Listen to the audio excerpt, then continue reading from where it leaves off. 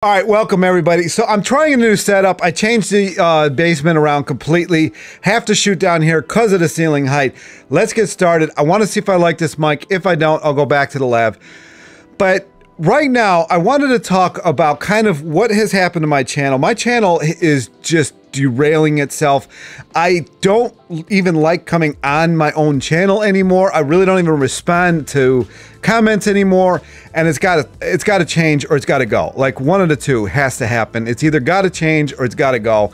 I don't know which is going to happen. And it has turned into ever since I made videos about the keto and carnivore people, those people are coming on here and attacking me. And here's the thing. Like, I'm not some super vegan out there going to be throwing uh, blood on everybody or, or who is going to be, you know, protesting. I like I liked eating meat. I, I had no problem with it. My body couldn't handle it anymore. And I, I, I got an approached by this guy, Arnold, over at Arnold's Way. And he came up to me, and this is when I was over 400 pounds. He's like, You're fat. And I said, I know. And he's like, I can help you. And I'm like, Okay. And he was doing this this vegan thing, and I told him, I said, Look, I eat a ton of meat. Like I, I, I grew up in this this whole thing because I grew up my dad worked at a food distribution plant. My dad got me into the food distribution plant. I worked from the age of 13 until 21 in a food distribution plant where it was 95% animal related because we did mostly fish. That was what we were known for at this particular place. And then beef, chicken. That was probably it, actually. I don't think we, well, we did pork, a little bit of pork. And so I grew up in this. It's not like I can't throw shade to that because my parents still eat that way. My kidneys and liver shut down from the amount that I ate. I loved eating it. And so I went vegan. Now, I, I probably shouldn't even call myself vegan. I'm more plant based. I'm like that McDougall used to say, you know, like I'm not really vegan because vegans, you know, Oreos are vegan. And, you know, so I'm kind of along those lines. Now, I don't eat meat. I still haven't eaten meat since I started going vegan or since I went vegan. And it's just a thing. But I, I'm not, I wasn't out here attacking everybody. I was telling people what happened to me. Now, the, it, it's crazy how polar it makes people, it, either any side of the camp that you're on. If you are a vegan lover, then you like hate everybody else. If you're a carnivore person, then you hate the other two. If you're keto, you hate everybody.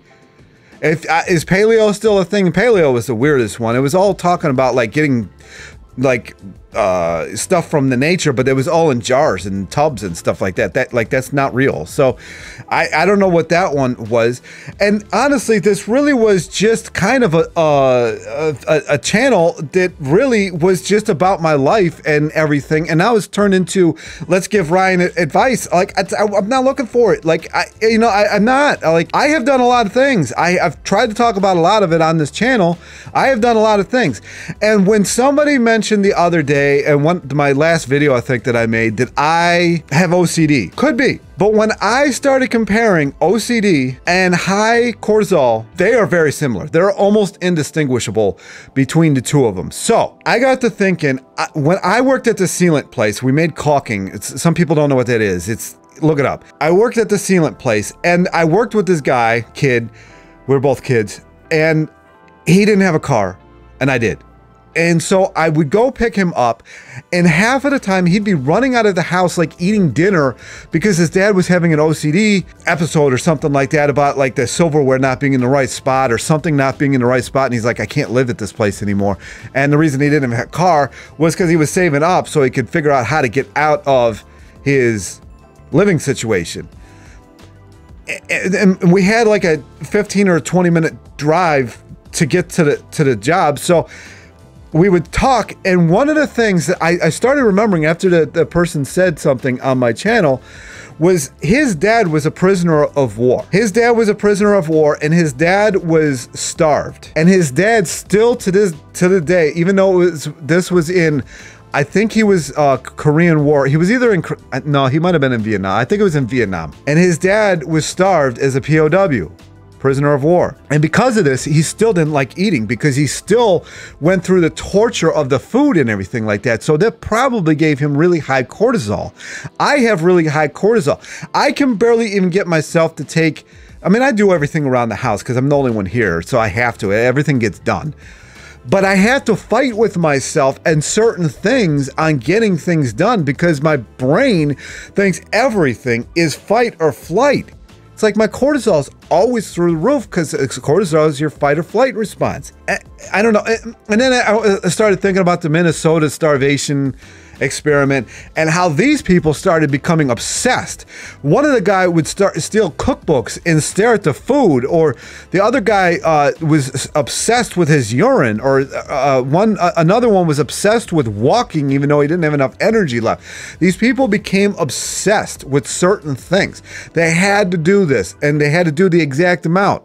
And I've been that way. That was actually why I quit weightlifting because I became so over obsessed with it. It ruined my life. I wouldn't even have sex because I'm like, no, it's gonna screw up my gains. And my girlfriend at the time was like, bro, like, what? And I'm like, yeah, no, no, I can't. It's gonna screw up. Like, I've got squats tomorrow. Like, a, you know, humping is gonna screw up.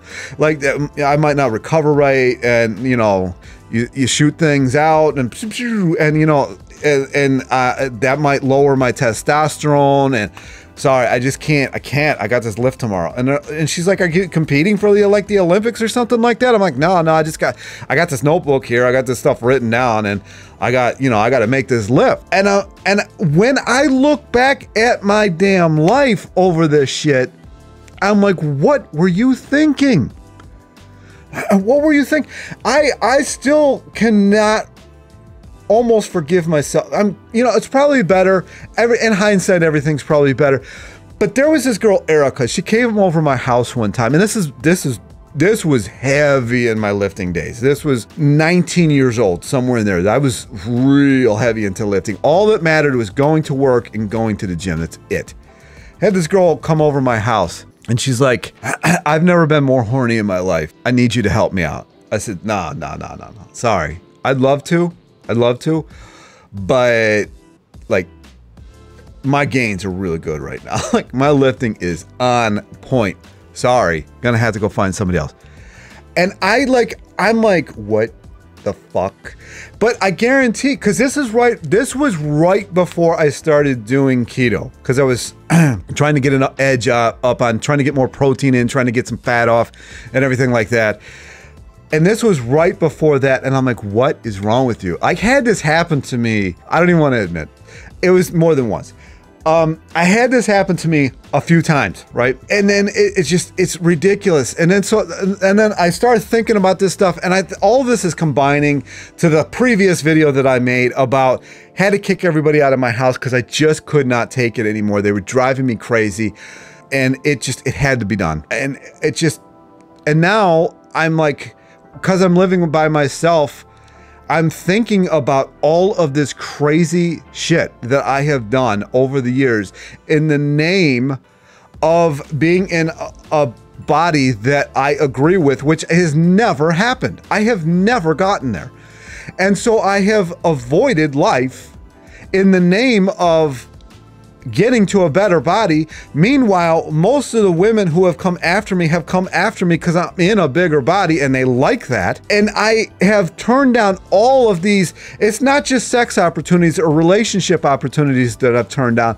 I have turned down jobs because it would get in the way of certain things. I have turned down so much. I haven't gone to parties because it would get in the middle. I remember one time I got invited to this dinner thing, but I had just eaten and I didn't want to screw up my eating schedule on my weightlifting thing. I don't know what this is. I don't I was told to make a video. You ever get that little voice in your head or your heart or whatever and it's like make this video just I'll give you the words. Just say the words and just publish it. Uh, so maybe this is maybe this is helping somebody out there. Maybe somebody watching this. I was outside and I was getting eaten alive, so I came back in. It's like go make this video. I turned down so many things in my life in the name of getting. I remember I was at my friend's birthday party and I was dieting and I didn't have a piece of, piece of birthday cake.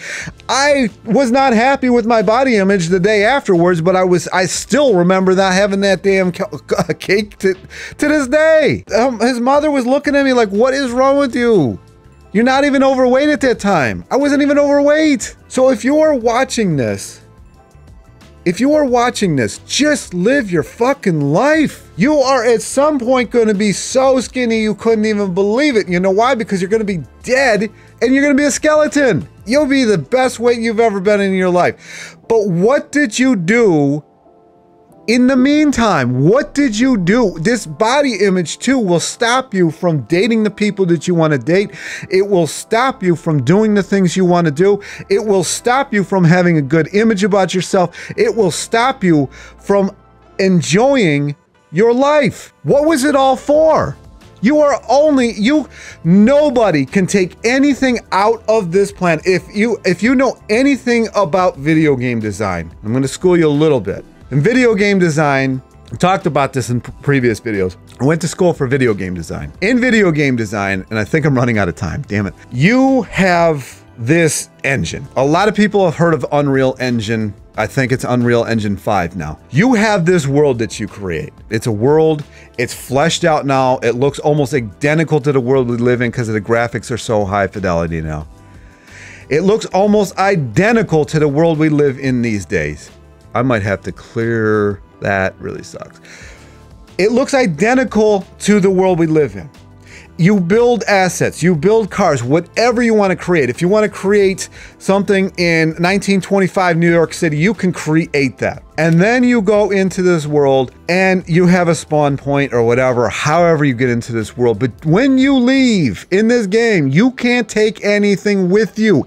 It is no different but then you can spawn back in. Maybe that's reincarnation. I don't know. Maybe it's maybe it's all the same. When you leave, when you leave, whether that's a video game world or when it's the world that we're in, you can't take anything with you other than the memories you created.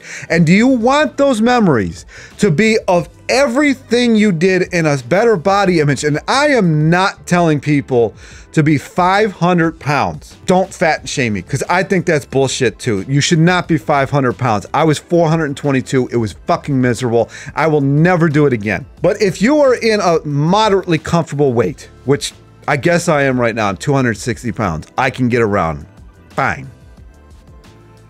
Would you rather have memories that you create for yourself?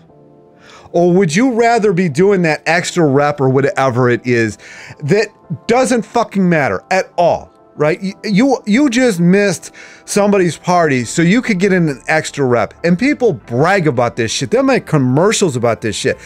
Nobody is better off getting an extra rep in other uh, uh over going to something that you are might remember the rest of your life. You are not going to remember that workout most likely, and it's like unless it's like a PR or something like that. You're not going to remember it, or you could have just done it at a different time of the day, or jo join a 24-hour gym and do it later. Get those carbs in, and and you'll be, and you'll probably lift better. Don't make your entire life about your body image. It's crazy. This social media life is crazy. It's crazy. I can't stand it. And now we've got people who won't even like. And here's another thing that's like you, people won't even date because they think they're ugly or something like that because of what they see on the fucking social media. It's it's it's crazy. I like I really I'm reliving my life and I'm like, where am I? Where am I? I I spent my entire 44 years on this planet so far, chasing an image that I've not gotten to because if you're chasing something, it just always means that you don't have it. Chasing something, I'm gonna have to. I'll be back. Sorry, my memory card was full. Instead of this, this, this, this has been so much revelation. Like yesterday, I didn't, I didn't want to do anything, and I, I've been blessed. I, I don't have to, right? So I was upstairs and I'm writing this stuff down and I'm reflecting again because I'm just trying to figure out how I end up at 44. Yes, I've been blessed. I have a house over my head. I'm fine, right? But it's just what what was it all for? What was chasing this body image for? What did it get me? I made a channel about it even. And if you've made it this far into this video and it's all you think about, is your body image. It's fine. It's a good thing to work on yourself and become the best version of yourself. But if it takes over your entire life, if people stop inviting you to things, either either A because it's a pain in the ass to feed you and I don't feel like doing it, or B because you're not going to show up anyways because X, or whatever it is, and maybe that's fine with you. Maybe maybe you don't care about that. Maybe maybe that's fine to you, right? But like if I'm reflecting on my previous self, and maybe this happened for a reason, maybe it did, okay? I'm just venting. This is my channel. I made this channel just to kind of vent about life. Not even vent, just to talk about life. Because I like to talk. And I like to make I like to entertain people and make people laugh. And I'm in this house by myself. If you've made your entire life around your body image, and you the girl actually it wasn't just some random girl that came over my house that day. It was somebody that i wanted to date since i had moved to the city that i was in. And i didn't even tell her. I didn't even need to. It wasn't even a chase. She chased me. I still i never forget the day she was on a on my, on my bed. And i said no. And i'm like why? For some reps that I don't even remember what they were. I'm sure I got the I, I but I got the notebook over it. I'm sure because I can't throw those out. I have actually started throwing some of them out. This is not a therapy session. This is really listen to what I've gone through. Really listen to it. If you're not 44, if you're 20 something watching this and you're trying to decide between McDougall, who's dead, or Pritikin, who's dead, or all these other dead people who have these fucking diets for you to try. Or you're uh, you're weightlifting, you're looking into Mike Mentzer who's dead, or all these other dead people that we look up to, and you're going to base your entire life off of it, and you not are you're not them. You're not them. They made money off of that. You are not making money off that. Don't base your life on that shit. Don't base your life on it. Mike Mentzer's program was perfect. You but I mean, very soon into the program, you're only working out every 47 days. Leave it at that. You don't need more than that. I trained actually people in the Mentzer style when he was really getting popular in 2003. I never seen better results in my life on my on my clients. Never. They couldn't believe how much weight they were lifting. I couldn't believe how fit they were getting. I couldn't believe it. If you are making your entire life about this stuff, stop doing that.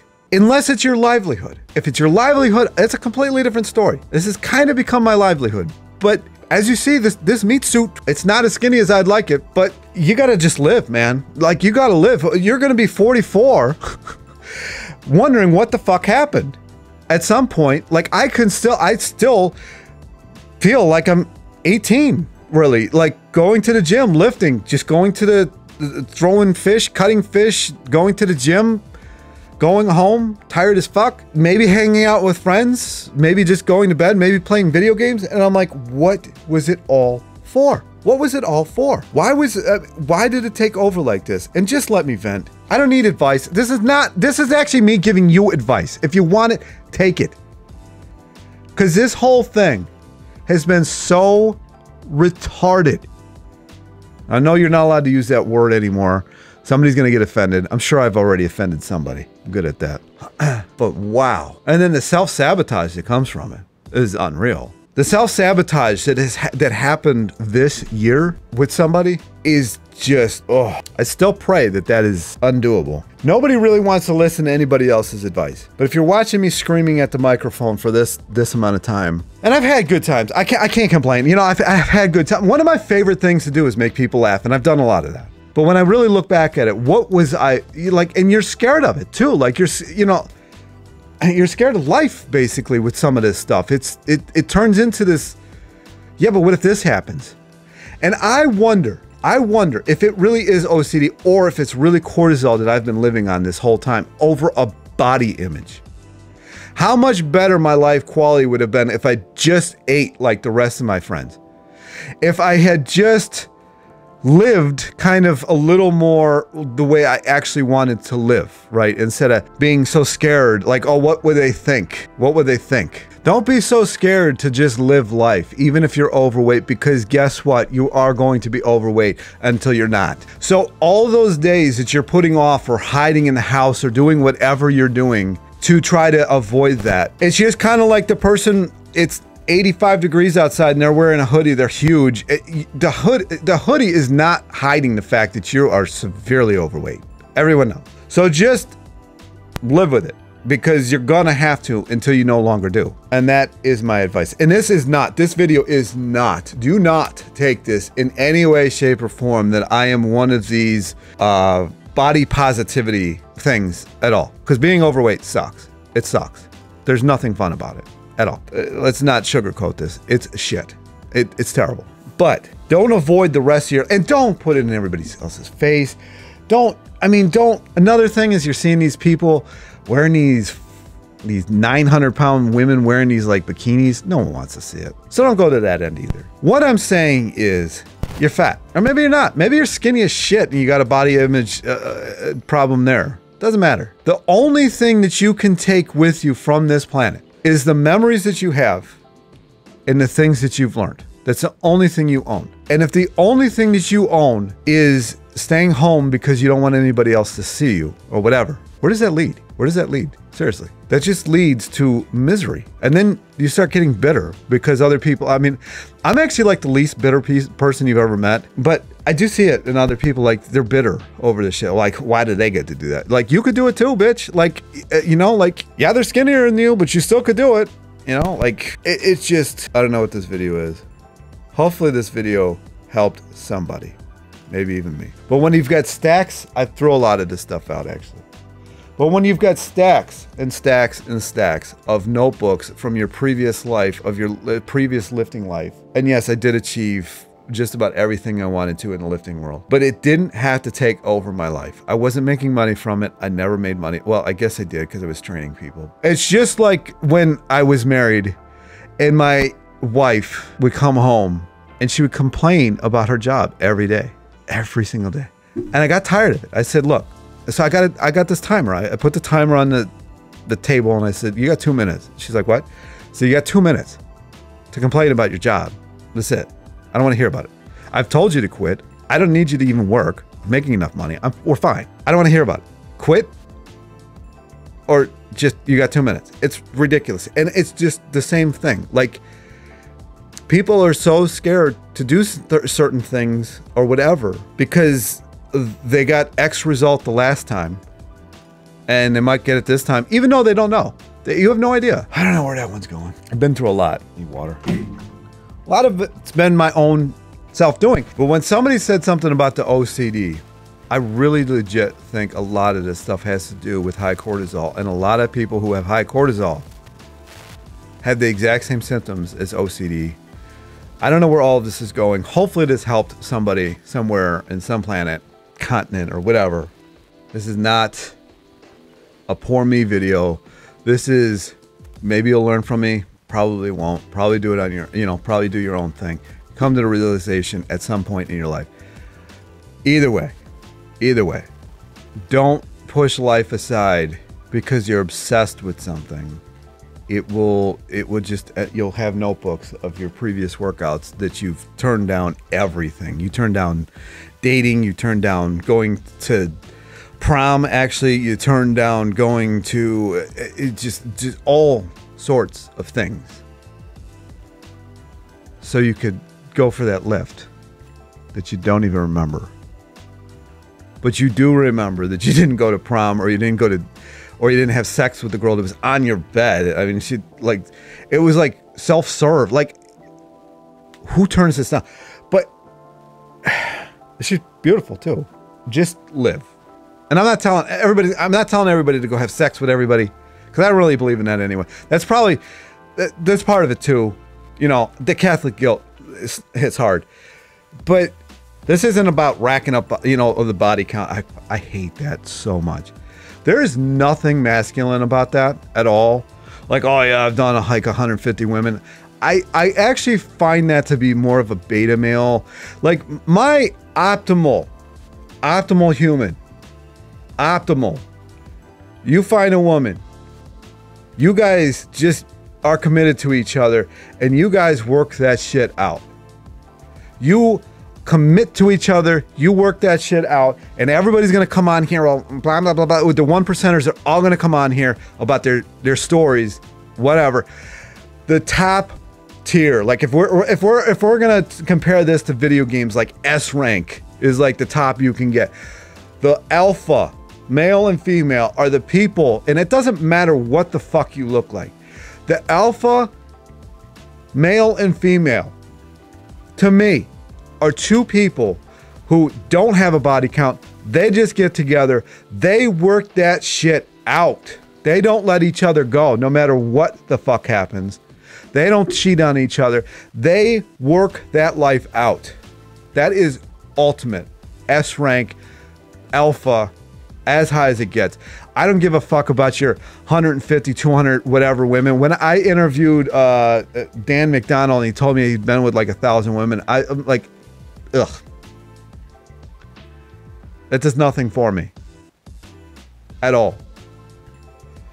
it is just nothing for me. I'm sorry. It's just, ugh.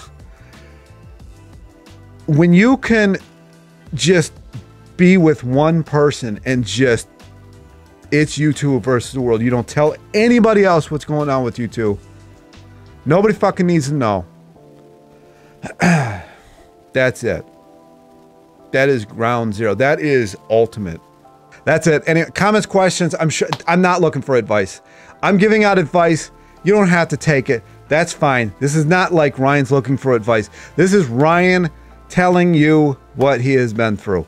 If it resonates with you, great. If it does not resonate with you, great. I think that's it. Man, I just want to talk. This is partly why I don't make videos at night because I rant and rave. But nobody's here. Here we are. Anyway, talk to you in the next one. Peace.